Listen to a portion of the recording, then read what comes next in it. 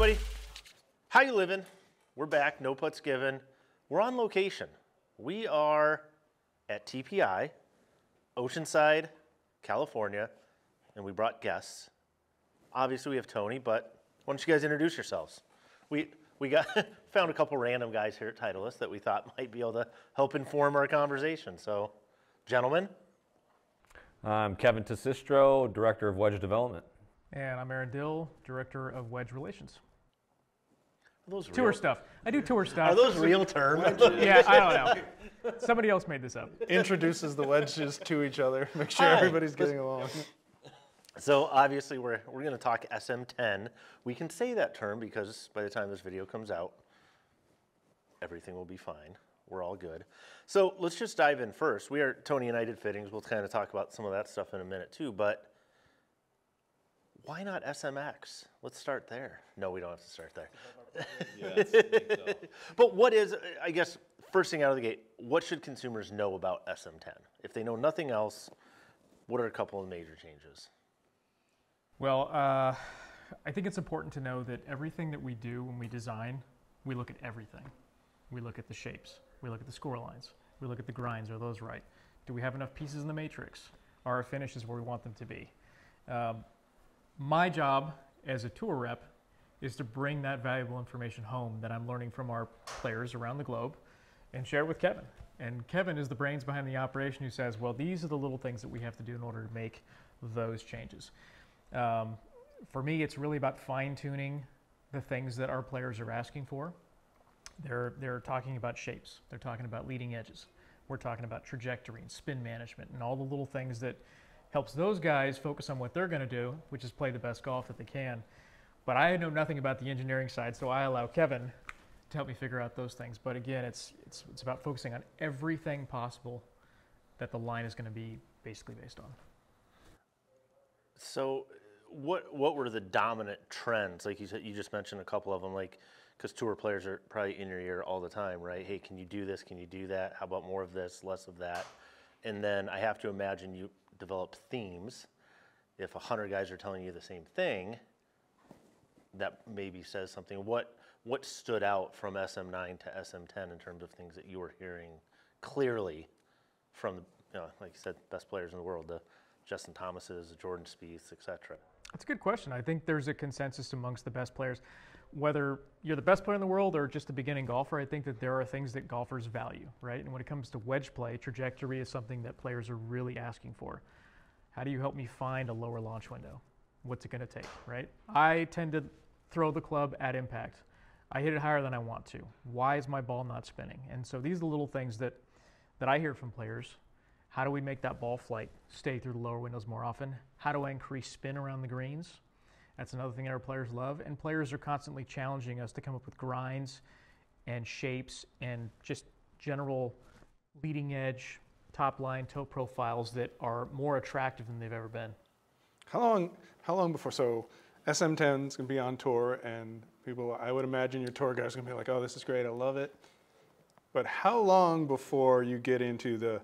But it would be nice if. Like, how long before we, we have to start thinking about SM11 changes based on tour feedback? It happens pretty fast. There's a honeymoon period.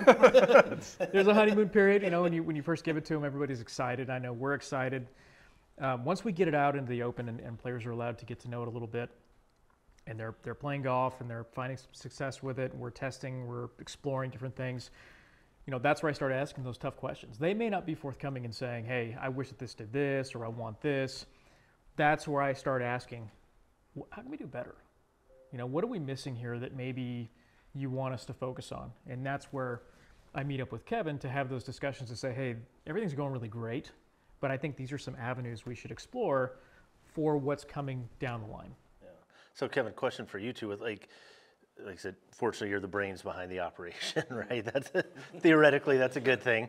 Um, what do consumers not get about wedge design that you wish they would in terms of like we we talk about these iterative changes, right? Like hey, right, one of the most common things on tours, hey, I want keep everything the same but make it better. You're like, yeah, no problem. We can absolutely do that or not.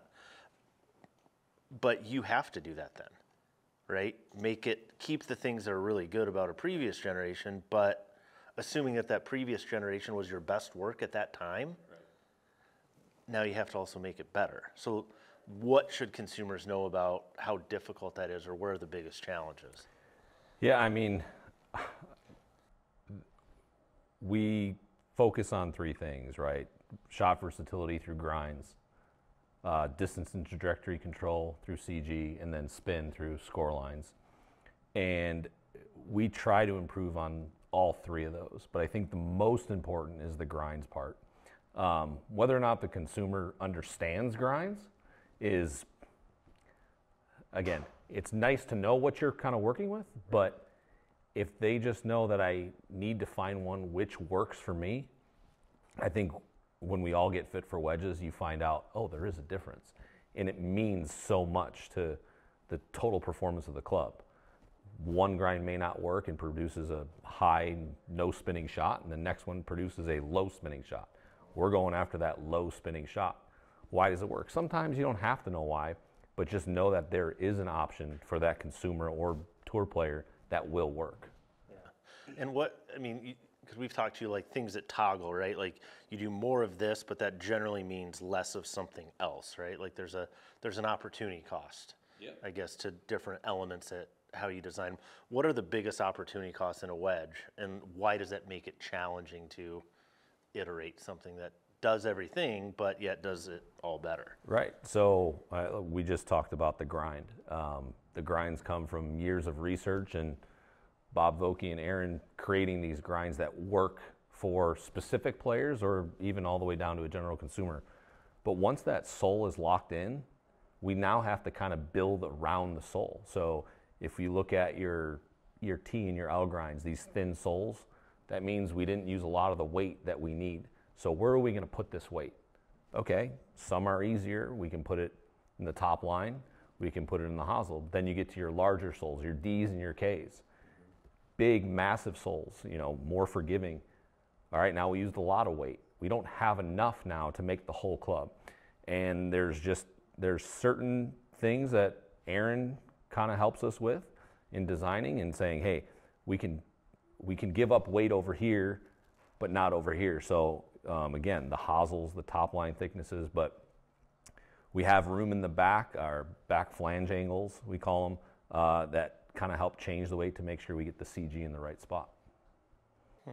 So with so let's just go from SM9 because that's the one that most consumers are most familiar with, right? Even though we know a lot of consumers haven't upgraded since maybe two or three generations before that, but compared to SM9, what are the biggest differences in SM10 other than the fact that you don't have Tony's favorite uh, finish?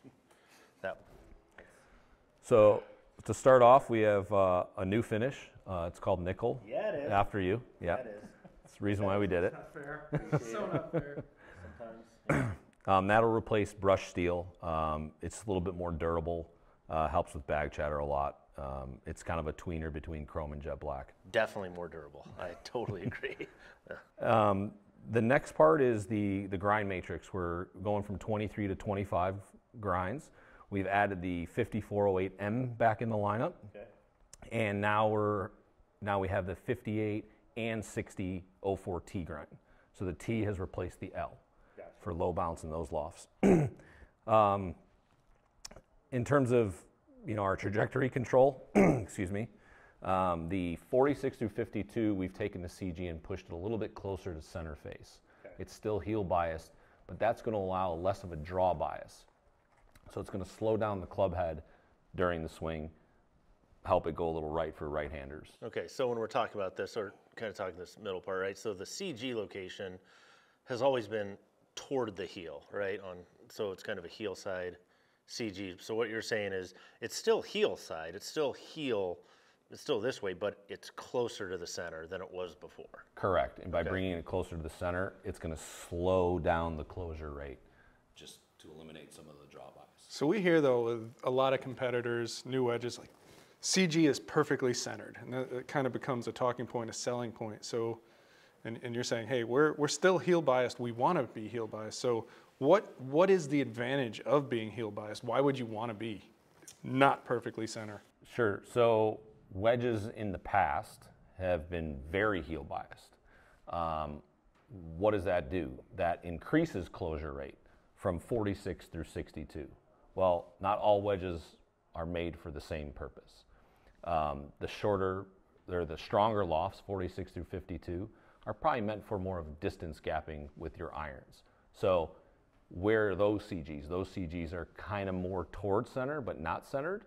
But then as we get towards the 54 through 60s, we progressively go more towards the heel because we want to incre- increase closure rate because that club is used for shots full all the way down to 10 feet from the green.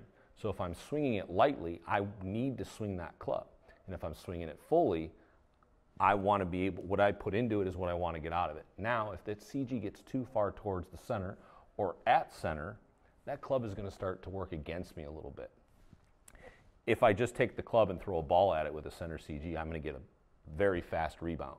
If I move the CG over, I'll get a little bit slower rebound. But with the CG to the heel, I get a faster closure rate, which increases speed, but I lose some of that by hitting it off center. So it's kind of a a give and take, but I've gained the ability to hit multiple shots without losing ball speed effects.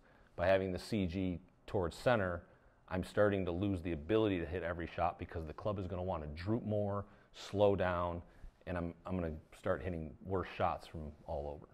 So it sounds like part of the versatility, right? Yes.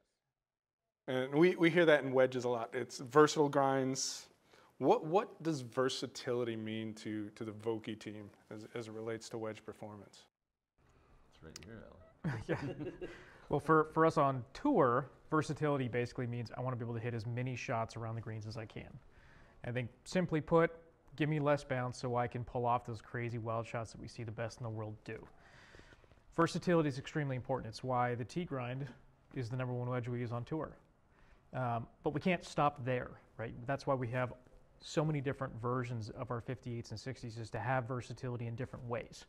Your D grinds are very bounce driven in the front. So if you're a steeper player who is a little, you know, is a little down, you're going to love that bounce in the front, but you do have the polishing in the back to allow you to open up the face when you need to. The M is Bob's most favorite wedge. That one is again a very similar best of both worlds sort of wedge where it's not as much in the front, but it's also less in the back. So if you need it, from the fairway, you can have it, but if you need to be around the greens, you have a little width and you have a little polishing on the back to, to allow for those things. And then the T is just that extreme version of conditions are firm. I need to hit flop shots. You know, those types of things where, where, where you can pull off those different shots. For, for the best in the world, versatility is, is essentially give me a wedge that does all the wild stuff I need it to do when I'm greenside. Yeah, I, I, I just think it's interesting. Let's go into, so biggest differences again from nine to 10, we have obviously some of that, but one of the things that jumped out, I think Tony, you would say this too, is the shaping of it. And, and meaning like you would get wedges, you would put them down, you can almost tell what wedge it was just by how it was sitting in front of you. You guys made a concerted effort to have every wedge within a certain loft, regardless of what the grind is, look exactly the same. Number one, why? Why do that? So I, I, think a big point is the first thing that a golfer usually does when he grabs a club is he puts it down. Does it look good? And sometimes he puts down a club to try and that just doesn't look good. Well, don't worry about the shape. Hit the grind. That's what we're trying to test. Um, in the past, we've tried to make them look the same, um, but as now we've gotten better at using the computers, we've really locked in, call it the profile and the, and the hosels and the blade lengths uh, before putting the sole on, basically. I mean, Aaron's come to us and said, this the, the T grind looks great and everyone's playing it, but he goes, you know, the M grind just looks a little different and I'm having troubles getting guys into it. We're having to do a lot of custom polishing.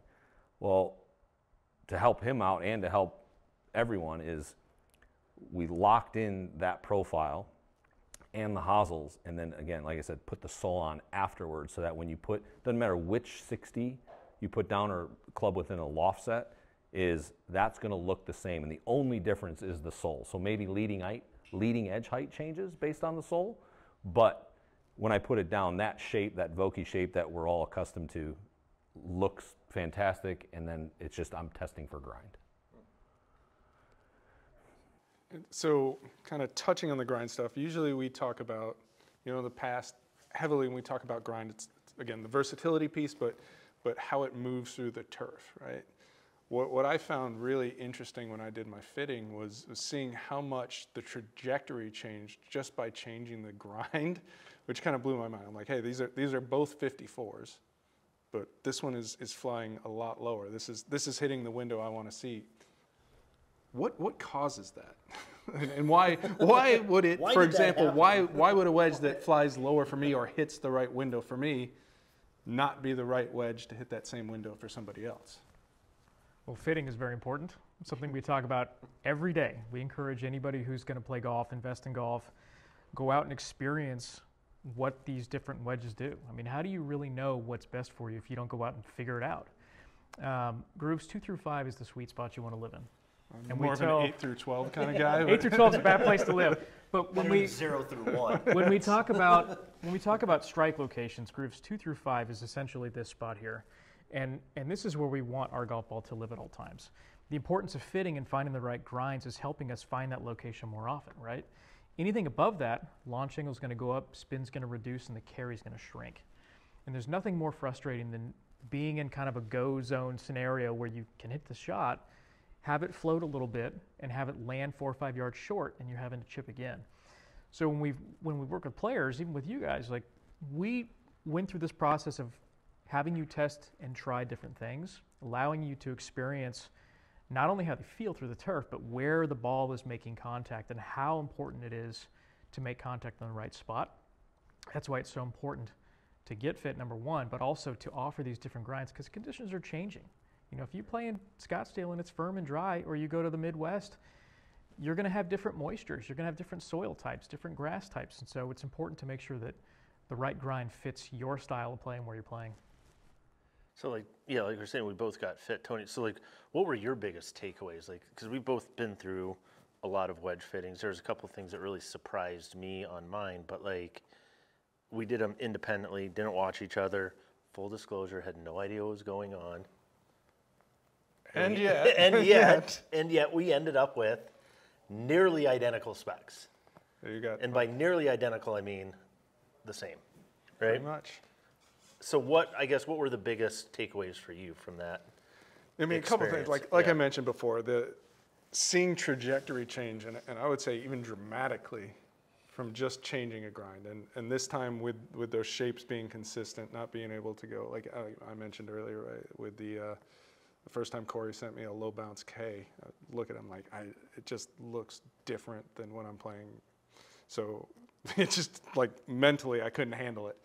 Now to to be able to kind of move between grinds and have nothing really visible, maybe something on that leading edge if you look really close as it's sitting on the ground, but nothing radically different and seeing the trajectory change, that was eye opening for sure. And then kind of the, the little stuff around the green where you know, we, we intentionally started out with, for me, what is a tricky shot with a little bit of a bunker carry. And I'm like, you know, trying to hit the T grind and be precise, hit it high, land it soft, and then realizing like it doesn't look like a lot of green, but if I just square face an F grind sand wedge and hit the easiest shot, just a little painless, you know, I'm just gonna knock it up there and seeing that, like, oh, look at that, that shot with that low trajectory is gonna stop even arguably better than the high soft one. Like that was that was kind of like, all right, wait a minute, this this can fundamentally change how I approach the shot. And and the other thing I would say, like not having to manipulate it, where I didn't have to feel like, all right, I want to I want to flight this low, I want to kind of just punch it up there, and not feeling like, all right, I got to de-loft it, and do all this stuff. I'm like just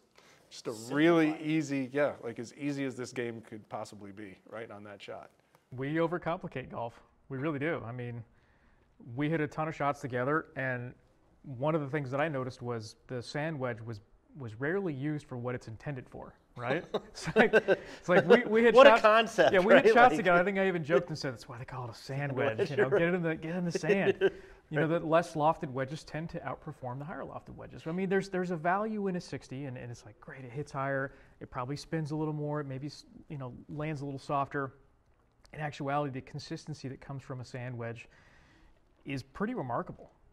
And when you expose players through the fitting process of understanding, like, hey, you've got the sand wedge. I understand it's a fairway club and you hit it 110 yards, whatever. Um, let's take a green side, see if there's value in that. and they, they hit a couple shots and they go, oh my, this is easier than my lob wedge.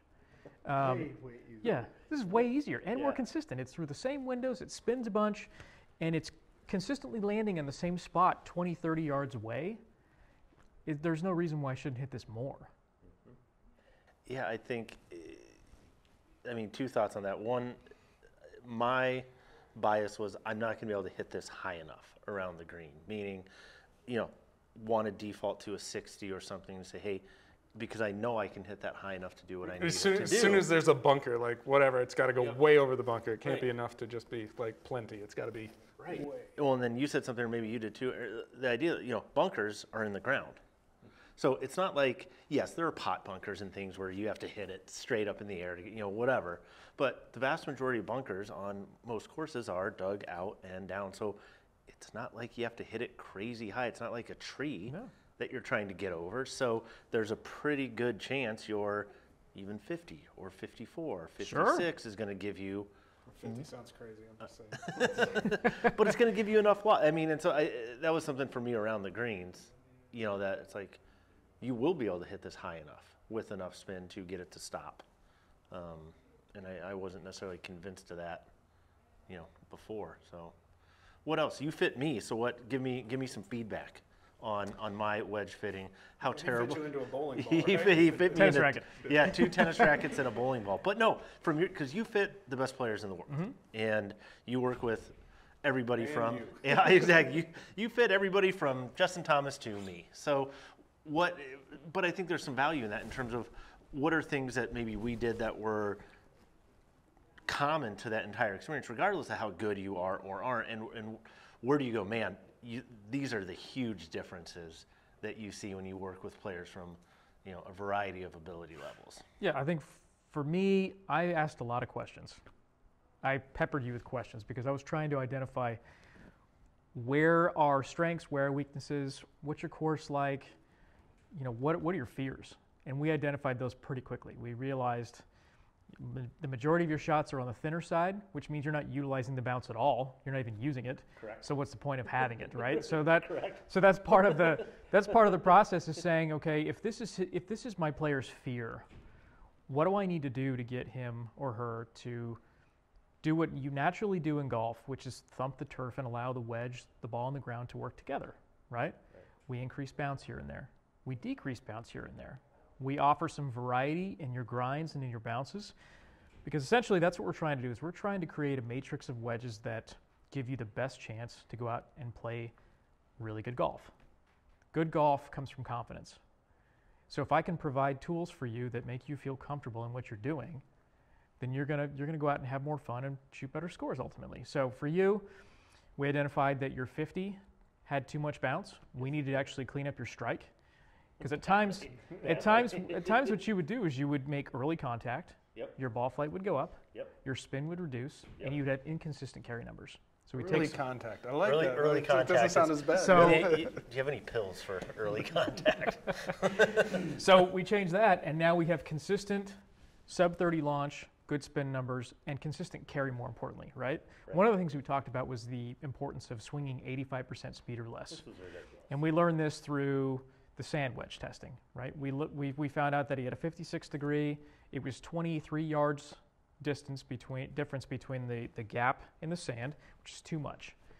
As it turned out. 13, 13 yards. Yeah, Suboptimal. that's a big gap. You know, there's a lot of guessing going on there. So, trying to tighten that up and say, okay, I think we can get closer to your gap, have a nice clean distance number between those two, but then go greenside, and I can prove to you that all the shots that you're concerned about, That's the you can actually do. Yeah, so that was that was a really interesting dynamic where it's like, okay, so we got gap wedge to, you know, roughly one low 120s, right? It Was kind of once we got a consistent number, trajectory, spin, it was carrying in the low 20, you know, 120s. So we said, okay, our next club, I, you got to get me to 109, you know, 108, 109, whatever. So I'm hitting 56 and it's going 100. Like, well, now we got a problem. There's 22 yards. So it's like in my head, it's like, okay, can we get to that 109?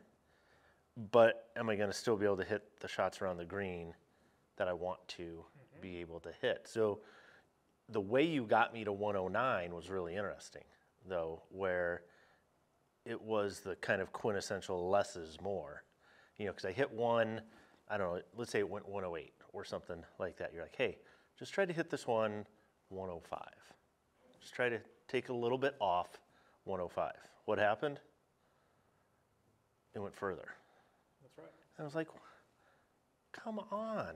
And so, what happened there? And is that typical at all? Because I, that one kind of changed my viewpoint on a lot of this. Yeah, so we learned you were swinging really hard to get this result. And while sometimes you hit those numbers, which is fine, there are often times when you swing that hard where the club catches up, ball flight goes higher than you want it, and now the energy that's supposed to be propelling, the ball towards the hole is now shorter because it's just gone in the air for too long.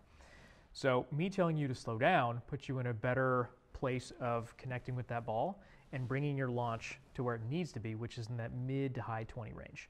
Um, that allowed you to swing softer. You actually hit your lines better. So, there were less there were less left bias misses, Right. less right bias misses. You were right on the target line. Um, you still had great spin numbers, but more importantly, you were consistently hitting 108 yards at the right launch Right. without effort. It was pretty simple. In fact, you said I, I should probably do this with my irons too. Well, I didn't like. There might be something. Crazy, no. Might be some because I, I have been, you know, accused of having a very effortful swing. You know, a lot of people have very effortless power.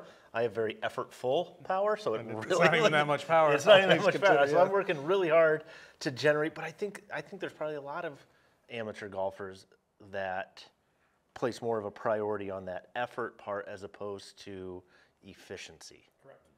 And that was a huge shift for me is this idea of going from max effort to maximum efficiency. Mm-hmm. And that has nothing to do with wedge fitting, this stuff, whatever, but that, that's just an interesting dynamic because then, like you said, then the grind, everything can do what it's supposed to do then. Mm-hmm. Like, you're like, oh, okay, well, that's kind of neat. And it shouldn't be that hard.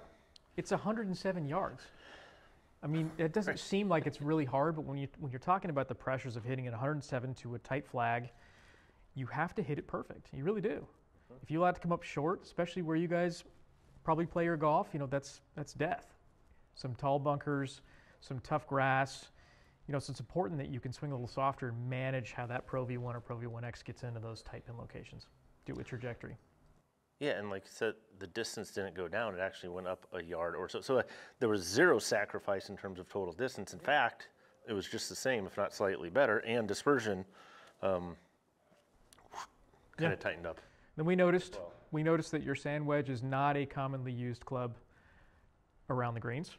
Some occasional usage, but not enough to Not say as common as it should be, maybe. not as common as it should be. Yeah.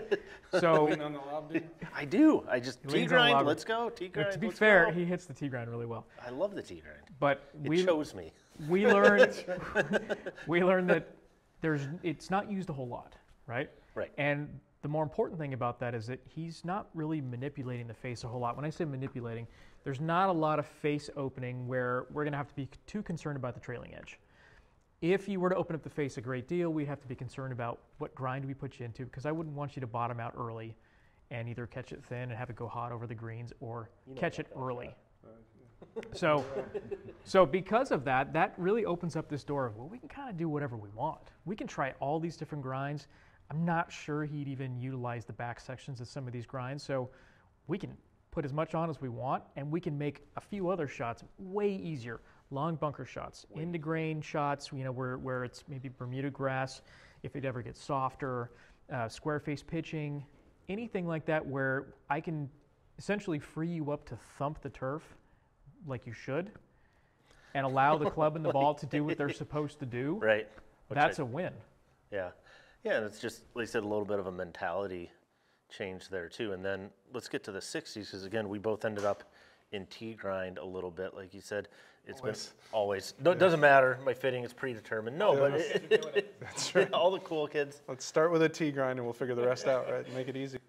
But like you said, you even in this matrix for this release, you added the 58. So it can't be just me or Tony or others. Like for something that, so I guess who's the best candidate for a T grind and because of And that, why is it everyone? and why is it me? Yeah. No, but also like what might you suggest in terms of maybe carrying another wedge just in case? Mm-hmm. Even the better players in the world, you're telling me, and, and, and maybe speak to that a little bit of even the best players in the world that have T grind also have something else because that's not a 100% everyday solution. No.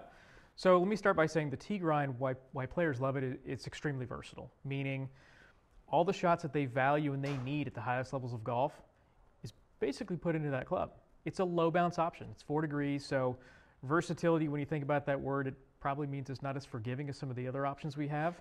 But at the highest levels of golf, even at levels like ours, if your course conditions and your technique fit what that wedge is all about, you're going to love it, which is big reason why you guys do so well with it. Um, at the tour level, it's all about firm, tight, lightly sanded bunkering.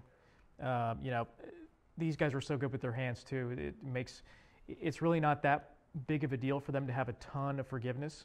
It's probably a big reason why we don't see a ton of K grinds out there at 14 degrees. Is these guys are looking for the best ability to get them out of these predicaments around the greens that, that the PGA Tour and most, you know, all tours around the world make so challenging.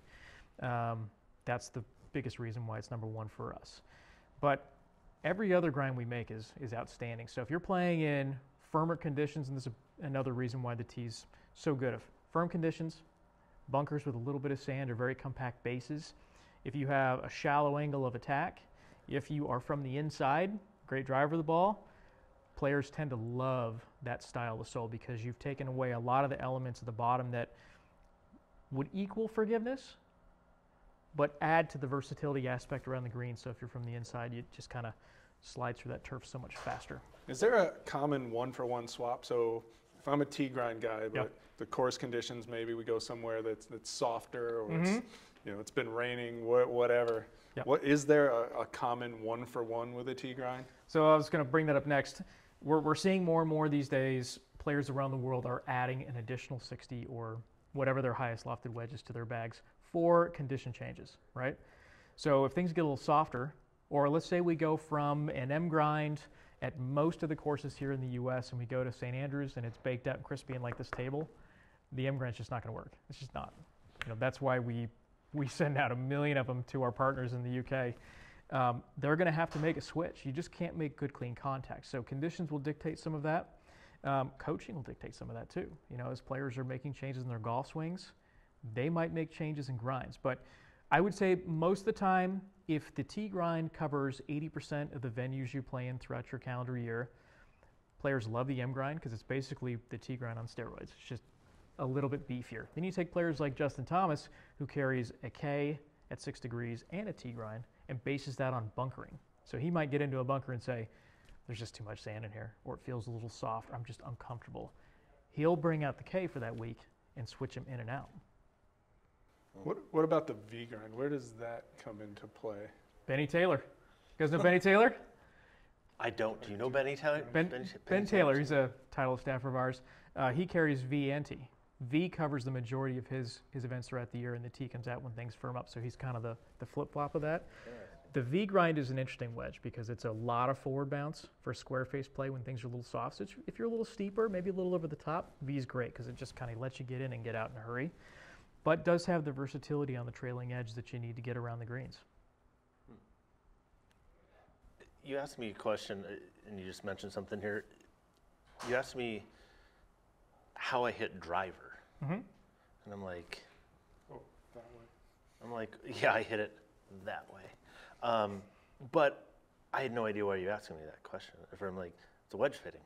Why are you asking me how I hit driver? Who cares how I hit driver? You know. So explain. So some of the questions you asked me are for very specific reasons, of which I had no idea. And that one was maybe the most oddball seeming one to me. But there's Yeah. a reason you asked that. Well, I asked that because a lot of times what's going on at the top end of your bag will reflect the bottom end of your bag. So if I have a good understanding of how well you work the top end or how poorly you work the top end, Is the then that gives me a good understanding of maybe why some of the things are happening down here, right? So for me as your fitter, I'm just trying to understand. I'm trying to get as much information as possible. Typically, good drivers of the ball are slightly from the inside. And when they're from the inside, they tend to bottom out early, or they tend to be shallow. They tend to catch a lot of shots low on the face, you know, around grooves one, two, and three. and those are those ones where, where you just you have to you know explain to your to your to your fitter or to your player um, you're not using the bounce at all. They go, why? I'm like, "'Cause- you're shallow. so, so that's part of that part of that process is you give them a tool like we did with the with the the F grind today. We said we have to encourage you to thump the turf more often, to actually put the bounce to work. Mm-hmm. If I give you the right bottom to do that, maybe you'll do it more often and you'll make cleaner contact because of it. So, you know, as I'm learning about your driver game, I'm learning about your, your long irons and how all that stuff transitions into your wedge play, and that's allowing me to choose models right away that I think are more beneficial. Yeah. So you mentioned earlier, um, you know, you love this time of year. Contracts come up, you know, new guys, and, and for for average golfers, me and Chris come out here, which unfortunately not everybody has a chance to do, but the wedge fitting process is transformative. Like you see it immediately. Mm-hmm. Ultimately, you know, like you're seeing immediate changes in your game more so than I've experienced with any other club. Do you get that at the tour level as well when you have a chance to work with somebody new who hasn't kind of gone through the full Vokey experience? You'd be amazed at how many really great players have not been deeply fit. It's, it's, it's crazy, right? Some of the best players in the world who come out here, I ask them the simple question. I go, okay, here's your wedges. Why do you have those in your bag? You know what they say? I don't know. That's what they gave me, right? This, That's- this is what I've always played. I have no idea. And you, you just think to yourself, that's crazy, right? You're in the top 50 in the world, we'll say. We'll just say you're a top 50 player in the world and you're out here working with us. Let me help you deep dive into this and, and get a deeper understanding as to why these work and why these don't. And a lot of times what ends up happening, I'll use JT Poston as a great example of somebody who came out here, doesn't tinker with his equipment, doesn't even think about it. He comes out here and, and, and I asked him that question. And he, he said, I don't know. And I Yeah. said, Well, guess what? Today we're going to find out why. and he left with three different wedges. Well, I was going to say, what was the before and after with that? Because again, you're taking best players in the world, and you can probably make an argument that, in a way, they're their own worst enemy because they're good enough to figure out how to use that wedge, in mm-hmm. spite of the fact it's not an ideal fit, and so they've kind of been able to work around that. So, what did he come in with, and what did he end up leaving with? So we were we were testing all the different options. He had a, a 5008, he had a 5608, so an M grind, and a 6008. So just kind of M grinds across the board. Okay. And that's pretty common because I think some players just assume that oh, if- if I'm a 6008 guy, 5608 is probably a good thing. You know, there's, there's some Why not? there's some similarities. It'll probably work out fine. It, as the fitting process goes on, a big part of that is, is, is identifying weakness and selecting wedges that take that weakness to a whole nother level of success and create confidence, right? If I give you the same grinds and bounces across the board, you're limited to these shots. And you look at the best players in the world and how they build their bags, they're trying to build versatility not just in their grinds, but in their bounces, right? So if you're in soft conditions and you have low bounce everything, you're kind of in trouble unless you're really good at delivering a wedge. So for JT, he was in a 6008. We realized it's too much bounce for you because the one thing he said was, I have a hard time sometimes around the greens just not feeling like I can get under the ball. So what do you do when you try and do that? I open up the face. What happens? Now the leading edge rises, and now I'm uncomfortable, and now I change my technique, and I'm just kind of lost. Okay, well let's try this. Just shot after shot was easy. He's like, wow, this is really cool. Okay, now let's validate it and take it in the bunker. This is easier in the bunker too. So now it's like there's just winning everywhere. So then that wedge then takes you into the sand wedge and begin to realize you don't have enough bounce here. What am I supposed to do with this wedge? Well, it has more value than just a fairway wedge. Well, I hit it pretty good from the fairway. Okay, let's see what it does on long bunker shots. Let's see what it does into the grain. Chunk, chunk, chunk. So you expose them to a little bit more bounce and you explain the benefits and say you don't have to just hit this from the fairway. You can hit this anywhere you want. With the way your game is put together and how you use a wedge, these are all benefits. I'm not taking anything away from you. I mean, it was just kind of a no-brainer there too. So now you have one low bounce and one high bounce short game tool. Everything in the middle you can do now. And then you get into the gap wedge and you begin to realize, okay, we've got a good distance wedge here. The math makes sense. Everything's working out nicely. Do we have a bottom though that encourages you to take a divot or at least make contact with the turf? Because there were often times where he would come up shallow and he'd catch it a little thin. and his ball would go low right, or low, yeah, to the low to the right. Yeah. So we tested him in 50 12, and we said, What do you think of this? I feel like I can just hit.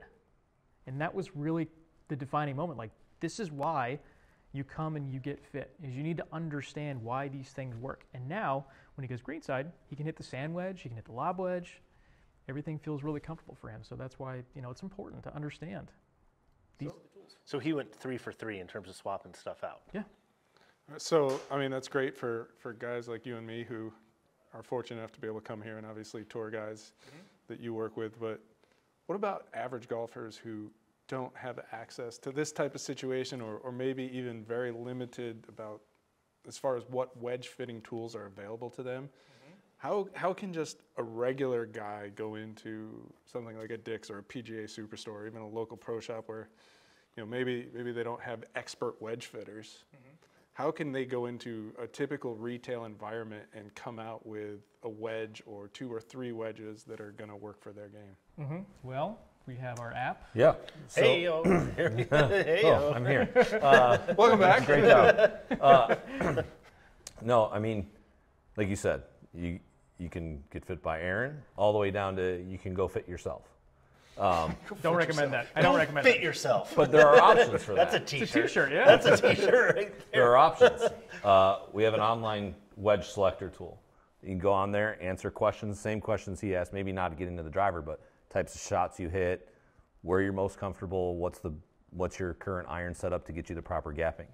That's number one. Number two um, is going to your local pro or one of those stores and getting fit. There's an app that you hit a few shots on TrackMan or Foresight, and it will track your descending angle and uh, shaft lean, and it'll help you determine.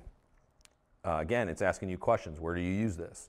Um, also, just going in and just trying them. Um, if you grab all five 60s and next to them, even on a mat, you will know right away which ones do and don't work. Hit different types of shots. Um, there are some that you, you're going to hit one of them the most consistent. And now that we have those radar devices, you can look at launch angle and spin. You can see which one's spinning the most, which one's spinning the least. That's probably not the one you're going to want. Um, there are ways to do it, but obviously outside on grass is the best.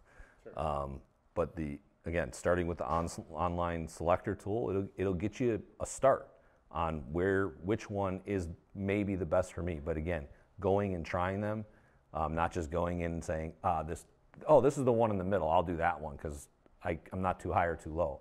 You might be, but trying them against each other is, is your best bet.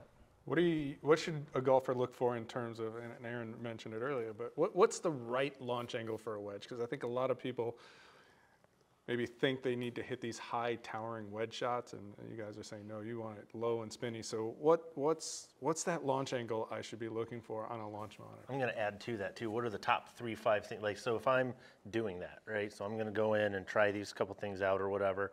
A lot of times golfers are their own worst enemies because they don't know what good is. You know, they might be able to say, hey, this one feels better. Um, but if there were, you know, three, four, five things that they should look and say, okay, you know, launch angle spin, whatever the case is, and they're going to do that for themselves, what are those things? Well, I would say number one is start with gapping. Make sure your math makes sense. So work off your pitching wedge. Hit that first. 13 yards ish in between each wedge, I think, is a nice gap. Once you get into the 60 or 58, that's less about distance. It's really more about how it performs around the green. So I'd put more emphasis on whether or not it's hitting the shots that you know that you want to that you want to hit. Um, work on that launch angle. Sub 30 launch numbers. Um, simple simple math. Take the loft that's on the bottom, cut it in half, and subtract two. I think that's a good general area you want to. Ready? Can you do that, Tony? This is a 54. What should my launch angle be? We'll go 25. How's that? That's close enough. Yeah, that's good. but you're seeing sub 30, just as a general rule, to get it under 30. Shoot for sub 30 numbers. Um, the great thing about sub 30 numbers is it takes a little bit of the pressure of spin away because the lower you launch it, the better your spin numbers will be. So when you look at TrackMan data, you look at any any launch monitor data, if you're higher than 30, you will see a diminishing return on spin and carry. It's going to shrink. Um, that's because that ball is, is not working efficiently with the face. It's a very oblique strike. Um, so you want to get those numbers sub 30, and you're going to see good results from that. So focus on that, the launch. That'll give you the spin. Um, if you're doing shaft testing, find a shaft that feels good, has some weight to it. I think that's an extremely important thing too. And lie angle. I'll add one, I'll add one more. I, you said, well, regardless how, I think feel is very important. If it feels good, it probably is good. Means if I hit 10 shots with each and nine of them feel good, you've probably hit nine really good shots with that club. So um, we say if it feels good, it usually is good. Well, I mean, it makes sense, right? Because a thin shot doesn't feel great. A big chunk doesn't feel great. So if you're making clean contact and you're getting those numbers and it feels good, you should probably, yeah, probably listen to that. Feel tends to be one of those things that also helps guide you into the right grinds. You know, if you're not a, if you're not an expert in grinds, if it feels good, like Kevin says, it typically means you're in something that makes sense for you. You know, so sort of trust what those feels are giving you. Along along the feel lines, there again a, a perception I think that, that continues to exist that forged clubs inherently feel better than cast clubs. You guys cast your wedges. How do you how- right? yeah? How do you how do you build feel into a cast club and really how how important is forge versus cast in, in that in the feel conversation? Yeah, so I think um, all that kind of came out decades ago, right? Forged clubs, what were they? They were blades, right? And you hit them solid, they felt solid. Well, as investment casting came in, we were trying to make cavity back clubs. You know, move the weighting out to the sides and make sure you have these huge sweet spots, things like that. Cast thin faces, ball speed, things like that. Well, I have a blade and I have a cast perimeter weighted club. Two different clubs, they're gonna feel different. Uh, even today's world where we do make forged cavity back clubs and a forged blade, they feel different. No one's really making the exact same club, forged and cast. We've done those tests. We've made the exact same clubs, given them to pros. We can't feel the difference. The thing with casting, it allows you to do more, we'll say, it gives you a bigger design freedom to add characteristics to the, especially inside of metal woods, like rails and ribs and things to help sound and things like that. Um, we use it a little bit in wedges to help those things.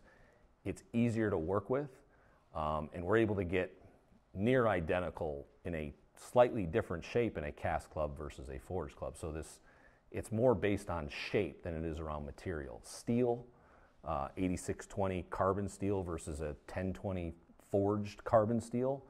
They're both carbon steels, just manufactured differently, and it's the shape of it that really produces that sound or feel. So when you have the exact same club, they're going to feel the same. But the fact that nobody's really testing the one blade versus another blade is not the same.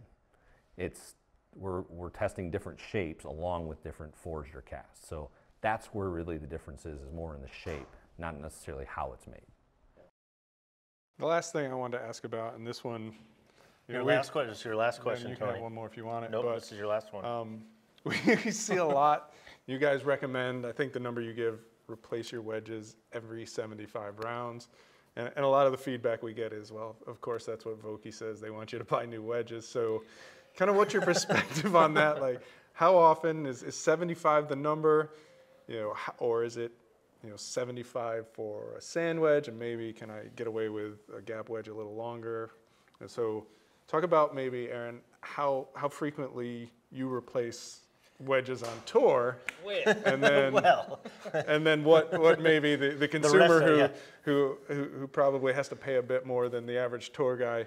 Realistically, how often should the average guy be replacing wedges? And Yeah. if It's they're a- copper, It's a, a great question. Uh, for, for, for, from, from the tour's perspective, we replace wedges all the time. Now, these are professional golfers. They hit balls all day. They practice in the bunker all day. They play tons of rounds of golf. So they're going to see spin decay a lot faster than we will, right? You take a, you know, Kevin's had a great analogy for a long time about uh, uh, a pencil and how you sharpen a pencil. That you get that razor sharp point. As soon as you start using it, that tip breaks off, breaks off, and before you know it, it's it's it's dull, right? So these guys will see that a lot faster. Now, where they see it the fastest is in the highest lofts. So when we focus our attention on making fresh wedges and fresh grooves, We're really more focused on the wedges around the greens that are doing the majority of the work. So a guy like Justin Thomas, for example, we will give him a set of wedges at the beginning of the year. It'll be 46, 52, 56, 60. He might try and play that 46 and 52 for almost two years, unless I come to him and say, "Hey, we're starting to see some funny things with your with your stats. Have you noticed anything with trajectory?" You know, so he's not going to change those out as much because that lack of loft is not changing the performance of the ball as much as a 56 and 60, which again is very oblique in how that ball and that face work together. So we're going to replace that 56 maybe four to six times a year, and that lob wedge we might replace it eight to 10 times a year times two because he has two different 60s. Uh, and then we might venture down a unique path of St. Andrews grinds or something, you know, y- there's all kinds of different things. times So at least 20 times a year, roughly. is what But I would at. say, but I would say, if we're talking from a consumer standpoint, it's the highest lofted wedges that you're going to see this lack of spin or loss of spin with. So if you're a 52, 56, 60 player and you hit 60 all the time, you're going to see that ball start to go like this over time. And you may not even think about it. You might just hit it and just accept it and it's just what it is and I'm grateful to be out playing golf. As it's going up, you are losing control of that ball. That ball is going higher, it's carrying shorter, and it's spinning less. So when we talk about getting fresh grooves in your bag, I think that's the important thing to remember is that does it have to be all of them? No. It needs to be the ones that make the biggest difference and produce the greatest loss in, uh, in spin decay. So, just for argument's sake, let's say, so in my set, I got 50, 54, 60. Let's just take that 54. We have ideal numbers on it. So we, 59.75. oh, we're getting to that. Yeah, 50, 54, 59 and three quarters. But let's say I am kind of a TrackMan geek. I am that consumer that hits balls in the winter and sees it. So, okay, I'm dialed in. Here's my launch. Here's my spin. Boom, boom, boom. And I'm going to look at those numbers. Is there a time, if it's like, hey, if this varies by more than 10% or something, where you're going to say, this is definitely where you need to start thinking about you're losing performance, right? Not just, ooh, we're Vokey, we'd like you to buy a new wedge. Of course, it makes sense, but you are definitively losing performance as soon as what happens. So your launch is going to go up. That's the first sign. Um, if you put on a loft and line machine and the numbers are perfect, your launch is going to go up. You're going to see a reduction in your spin numbers, and your carry is going to shrink, which means you're going to swing harder. And then when you start swinging harder, We know what it's happens. going higher and carrying even shorter. So, so usually those are the the telling signs that it's time to start thinking about it. Uh, again, you're going to see it the most in the 58, 60, 62s. Those are going to give you, again, more of that slip and slide effect that that ball and that face are, are gonna are gonna they're gonna do. So, pay attention to those numbers. Um, you're going to see it in the face. Wear and tear on the face is also a sign. You're going to see deformation of the face. You're going to see changes in the finish. So if you're a chrome player, you're going to see that wearing down into a darker, browner, crustier color. Um, if you have the darker finishes, you're going to see that as well. Um, there are always visual signs in spin decay. Now, you're going to see them again in the higher lofts way more than you will the sand wedge, but you're going to see it on that as well over time. If you're looking at pure numbers, you're probably looking, say, three to five degrees and over 1,500 RPMs of spin. If you see 2,000 to 3,000 RPMs from where you started, Toss them. it's gone. Because we're talking, You're going from 10,000 to 7,000 or correct, something. that's, like- that's That's- now 18 to 24 feet of rollout versus 5 to 10 when you started. Right. I mean, now you're having to play for that, which you probably didn't even realize you were doing. Well, because it end. happens so incremental. I It think that's part of the thing. Is like, It's like one foot at a time, right? yeah, well, like well, we were joking. Like it'd be it'd be great if like the the wedge face just exploded. You know, at a certain point, it's like, oh, now I have to replace it. just self-destruct. It just, you know, Some kind of penny test, right? spontaneous That's what I'm talking combustion or something where it just explodes and it's like, oh, got to replace it, but it doesn't, right? It's just a little bit over over time, and by the time, I mean, like so many other things, right? By the time it's you've lost performance, you rightfully probably aren't aware of it. No, and, and that's the frustrating thing is that if you're, let's say you're at 100 yards and you're hitting your 60 degree and it's not spinning very much, it's going straight up in the air. If there's no obstacle for it to stop on, it's just going to hit and release. So now you're thinking when you get to that ball and you're like, I'm 12 yards behind this flag. do I hit this thing 112 yards? Now your brain's thinking it goes 112 yards. Right. Now what happens if you hit that same shot, but there's a pond or a bunker where that ball first touched down? Right. You really only hit it 90 yards, Right. Right. but you didn't know. Right. Right. So it's important that you have fresh grooves. You should have fresh grooves all the time. But if you had to make a decision to, if, if you had to 20 make times a, a year. 20 times a year. You 20 times it a year, just stop by the van.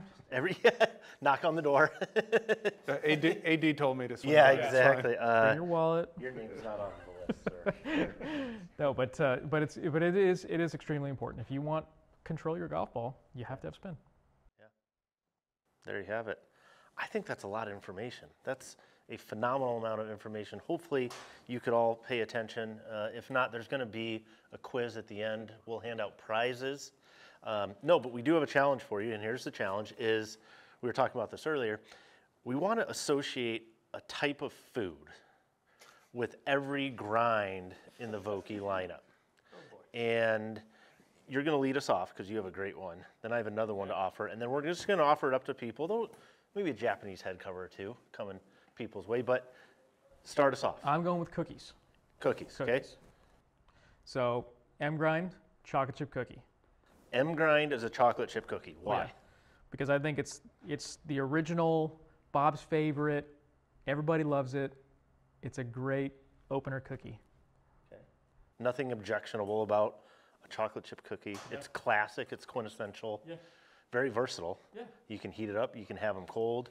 They can be Chips Ahoy. They can be. You can eat it raw, home, man. You can eat it raw. Yeah. They can be home baked. You baked. could risk getting sick. Yep. All those. Co- okay, I like it. fine. It's I no big like it. deal. Tony, do you have one? I, the T grinds for me, it's the sugar cookie. Like it's the, The T grind. it's the say- one that, the T that got grind is the- overlooked for too long. Not everybody understands just how good and pure it is. Hmm. So yeah, that's that's mine. If we gotta if we gotta play the cookie game. Got to play the cookie game. I like it. Do you have one you'd like to like to Uh, offer? It's like how did I get No, I- involved in this? No, I think the white macadamia nut, white chocolate came up or something like that. I, That was a good one. I, I'm an oatmeal raisin guy. Not many people like it, and I, I think that is probably maybe like the F grind. Not many people like it, but if you did try it, I think you'd like it. Yeah, it's sneaky good. Sneaky good. It's sneaky good. I. It is kind of the one I don't want to eat, but it does. But it's very satisfying. It's satisfying. and Gets you the result you want. Yeah. And that's what the F grind does. See, that's what I'm telling you, people. There are options out there. We still got we got K grind to go. We got L grinds. We, like I said, we got we got low bounce K. We got high bounce K. We got all sorts of options. A's and V's and A's and V's, and let us know what you the think. W grind. Don't forget the W. There's Don't forget the W grind. Wow, are there a lot of grinds out there? Anyway, thank you. Until next time, thank you for being here. Thanks for all your knowledge. Appreciate it. If you have questions, again, find us on the interwebs. We're around. We'll help answer some of those things. We out.